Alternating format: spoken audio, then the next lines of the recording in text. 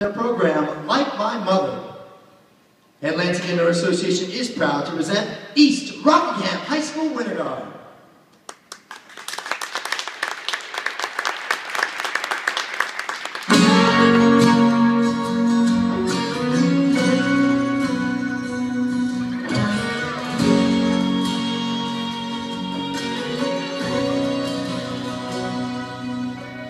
People always say